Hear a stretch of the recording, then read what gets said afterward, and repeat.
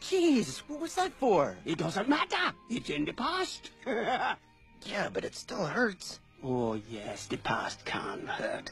But the way I see it, you can either run from it or learn from it.